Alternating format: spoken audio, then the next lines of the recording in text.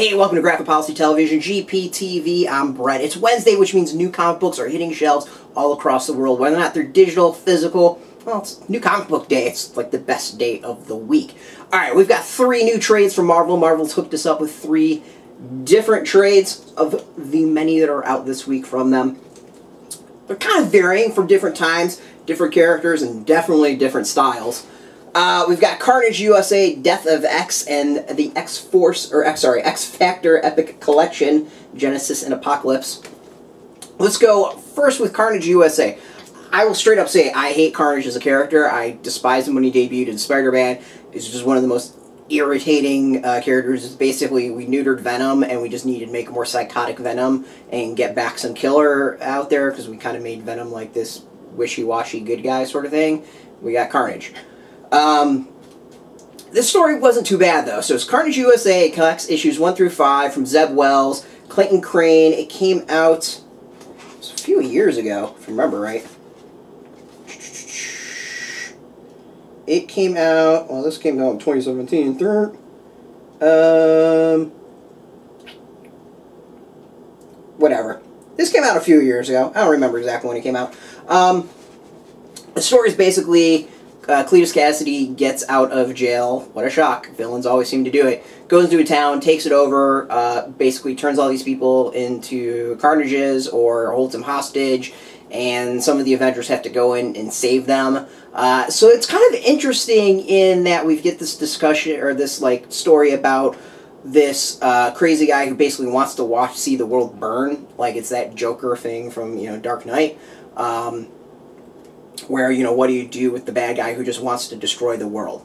That is actually an interesting aspect. The story doesn't dive enough into that. It doesn't really come towards the end of the comic when it comes clear, like, that's really what it's about, is, like, what do you do with a dude like Cletus Kasady, who is just a straight-up killer and a murderer and does horrible things and constantly gets out of jail.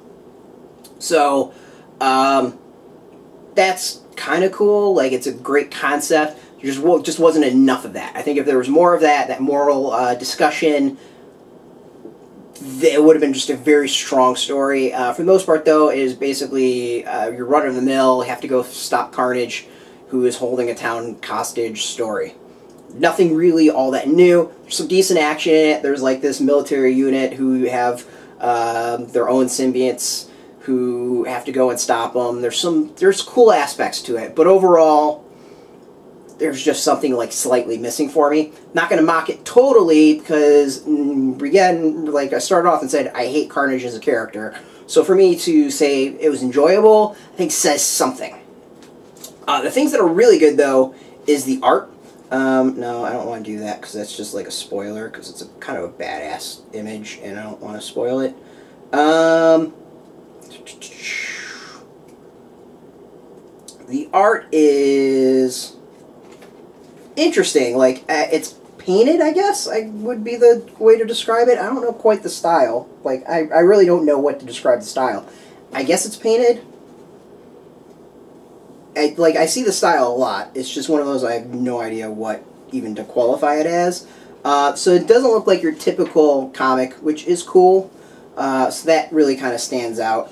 Um, but like there's some there is some cool aspects. You know, Wolverine covered in Carnage symbiotes is uh, a neat idea that I don't think we've really seen before, so it's not that bad. Uh, retails for 19.99. So price wise, I'm not totally digging it. With you know five issues, you're saving a couple bucks on it. Um, you're getting covers in between the various chapters. The covers are actually pretty cool. I remember seeing these in the store when this series came out, and it almost had me on the covers just because I liked them so much, and they played off of like this patriotic icon iconography that it dug. Uh, there's also variant covers that are inside. Uh, but that's really about it. There's not many uh, extras at all. So this is one like if you're a diehard Carnage fan, if you haven't read this, go for it. If you kind of like the idea of uh, superpower serial killer, what do you do with that? Go for it. Uh, but overall, like out of the out of the three choices, I'm kind of I'm kind of wishing out on that on this one. Uh, it's not that bad. Actually, I'm going to say this is probably the medium out of the three. So we'll go with this. This is the this is the medium one. This is this is the one I'm putting the medium in the middle. The reason why I think this one is less than that one. Um, all right, so Death X, fairly recent. Um, collects issues one through four of Death Death of X, mostly written or sorry, it's written by Jeff Lemire and Charles uh, Soule. Tons of art uh, artists: Aaron Kuder, Javier Garron, uh, Jay Leisten, Cam Smith, Scott Hanna, Morry Hollowell, Jay uh, David Ramos, Jason Keith, Wil Quintana, Matt Milla, Andrew Crossley. 17.99, four issues. um, I just noticed we're actually quoted on the back of it. I don't know if that's my quote or not. It'd be pretty funny if it was, and I'm panning this. Um, the story is the prelude, basically, to the uh, Inhumans versus X Men storyline that's currently going on in the Marvel Universe. Uh, the the big story going currently is Inhumans are battling the X Men who are trying to sur survive because of the Terrigen mist that's flowing around the planet, poison to, to mutants, killing them. So the X Men have to do something about it. So this is kind of the prelude up to that. Like we knew there was this fallout between the Inhumans and the X Men. We didn't know why. We knew Cyclops had died. We don't know why. This is all the answers to that. So this just fills in basically a lot of gaps of things we don't know. A lot of characters that we haven't seen for a while are in here and explains that. Basically, who's alive, who's dead, this is answering a lot of those questions. And for that, it's good. Like, if you are a X-Men completist, you want to know what the hell's going on, this I recommend because of that. Uh, if there anything really vital in this, somewhat, there are some twists and turns towards the end that actually make it a really interesting story, but up to that, it's not much. It kind of like a, it would be like an M. Night Shyamalan film where like 99% of it is shit, and then it's all about the twist, and you're like, oh, that was an awesome movie because of the twist. Well, no, 99% of it's still shit. This isn't quite that bad like that, but you can hopefully see what I'm saying.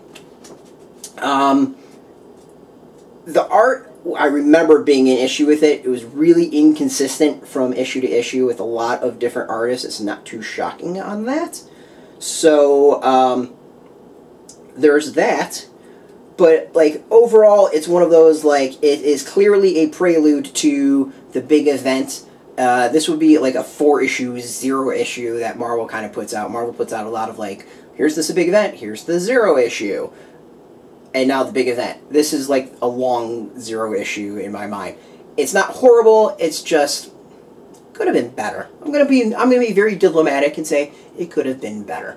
Um, as again, there was some really good stuff about it. There was a lot of stuff I disliked. Uh, overall, though, things were kind of it was a little yeah. You can see that I'm I'm a little torn on this one.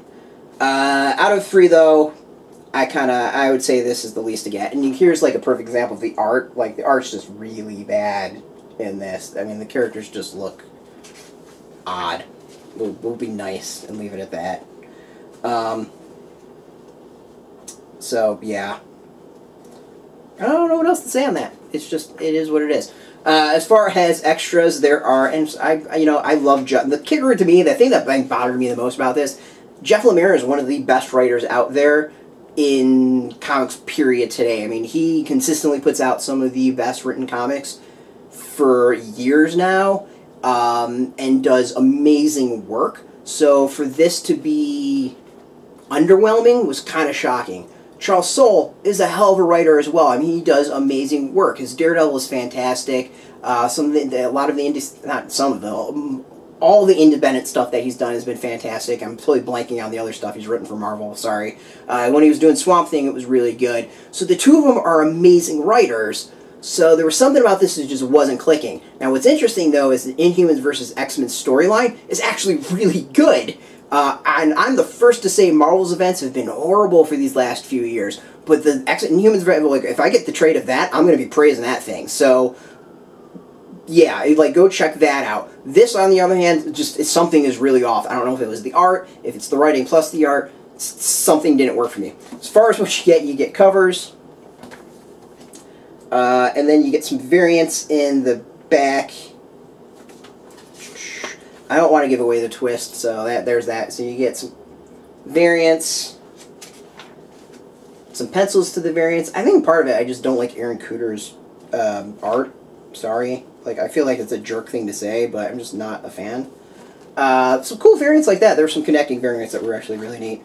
Um, so yeah, there's a lot of variants in here. A lot of art to check out. Basically, you know, if you haven't read it, you're wondering what's going on, go with it. There's a nice twist at the end that really kind of changes up uh, a couple characters, how you're going to think about them, especially with Inhumans versus X-Men. Now, the, the twist hasn't come up yet. I believe it's probably going to come up next issue, so it's kind of going to be a key thing at some point. And there gets into be a little bit of philosophical debate at that point. I, yeah, I'm still leaving at that. Alright, so this one's a blast from the past. I, I haven't read these in God knows how long. Um, I mean, we're talking about when I started reading comics, basically, is, is some of this stuff. I have original copies of a good chunk of this sitting in uh, storage. Yeah, there's like 60 long boxes in storage. There are some originals uh, of this in there. Alright, so we got X Factor, Genesis and Apocalypse, part of the Epic Collection. Epic is definitely the key word here. So this is Volume 1, 1986. It includes Avengers 263, Fantastic Four 286, X Factor 1 through 9, and the annual number 1, Iron Man annual number 8, Amazing Spider-Man 282, and some material from Classic X-Men number 8 and number 43. I'm just going to read the back because it's going to be way easier to do that. So when Jean Grey is found alive with a little help from the Avengers and Fantastic Four, she re reunites with the rest of Xavier's original class to form X-Factor. But if Cyclops, Marvel Girl, Beast, Angel, and Iceman face new enemies, Tower and Frenzy, little do they realize the villains are part of an alliance of evil led by Apocalypse. They'll fight Iron Man and Spider-Man, encounter uncanny foes such as Bulk and Glowworm, and take on old sparring partners in Freedom Force. But there's no question who will rise to the role of X-Factor's arch nemesis. Story of N. Sorry, sick. Uh, story of En Sabah Nur begins here. That's the thing that's really cool about this. If you want really the origin of Apocalypse, this is this is right here. Like if you saw X Men Apocalypse and you're like, I want to go check out Apocalypse in comics and figure out where he started here you go. Um, now, there isn't tons of him in there. I'm going to warn you straight up. Like, this isn't straight apocalypse stories. They're battling apocalypse. So if you want that sort of thing, there's way other comics in there. But if you want the origin of him starting, uh, a lot of these characters who wind up being classic characters, their uh, debuts, it, this is it right here. Uh, this is the return of the original X-Men. They had been gone for some time. Remember, we got the replacement of like Wolverine, Colossus, Storm, all of them formed these the new X-Men in I forgot what year it was. 73, 79, somewhere around there. 73? Whatever. Um, and the there was some time for these characters reunited and were brought back. Everyone thought Jean Grey was dead, so dun, dun, dun, we also get the lead up to, you know, the whole Phoenix saga that will come at some point. Pretty big key stuff there. That's hinted at in this. Um, so this is some pretty classic, awesome comics. Um, I mean, okay, so I'm going to go through the writers. Roger Stern, John Byrne, uh, Bob Layton, Bob Harras, Louise Simonson, Tom DeFalco, Chris Claremont, Jackson Guice, Pencils and Breakdowns, John Buscema, John Hearn, uh, Jackson Guice, Keith Pollard, Paul Neary, Bob Layton, Rick Leonardi, Marc Silvestri, Terry Shoemaker, John Bolton, Mike Collins. Inkers are known, colorists are known, letters are like these are all names you're going to know. So this is some of like the top creators of the time, some of the best creators ever, period. Which says a hell of a lot. So this really is like if you want to go back and check out some old school comics, X Factor number one, for instance yeah, it doesn't really get much better than this. Um, there you go.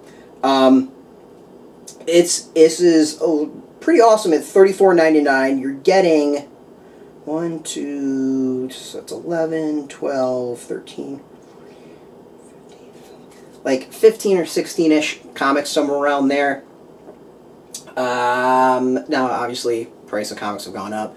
So you're looking at like two bucks, three bucks a, an issue, not even two and a half bucks an issue, which is not bad at all. Uh, let's see here. Extras. Yeah, you get like some old school stuff like that.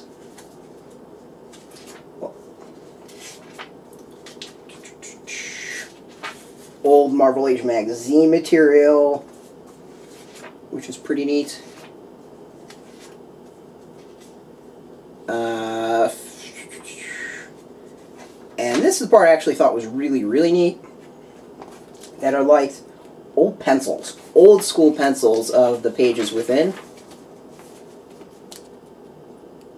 That was something I really, really digged about this. So, uh, out of the three of them, I love this. I mean, if you want a good collection to go back and check out some classic comics, like here you go. This is an absolute solid addition to any collection. You can go check out the original X Factor, Apocalypse's origin, and a hell of a lot more.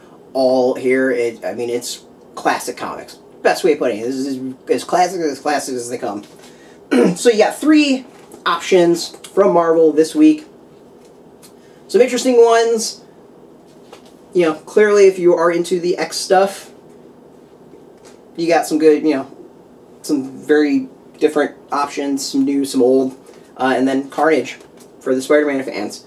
Uh, thanks again, Marvel, for the hookup of them. You can go check out these comics at your comic book shop today. They're going to be in big box stores, I believe, in like two weeks is the way Marvel works. So it's going to be like March, whatever the Tuesday is, two weeks from now. Um, if you uh, are looking for a local comic book store, we have a link underneath this video. You can go put in your zip and it'll go help find your local comic book shop. Please go support your local comic book store first and foremost. If you don't have a local comic book shop or can't get to it for whatever various reasons, and you want to order it online, we do have some links below this video to help you out with that. They're affiliate links, so we do get a small percentage of that, but by doing that, you help support our site, so thank you very much for that. Uh, by just watching this video, thank you so much. You help support our site. So until next time, keep reading those comics, make mine Marvel, and keep it geeky. Hey, thanks for watching the previous video from Graphic Policy Television. Just by watching, you help support our site. Thank you so much. Now, if you're watching these videos, you probably care about geeky things like movies, television, comic books, toys, games, video games, you name it. You can go and subscribe right now to our YouTube channel to stay in touch and catch all the new videos, or check out our website at graphicpolicy.com. There's a nice link on this end of the video. But as always, thank you for watching. Keep on rocking and keep it geeky.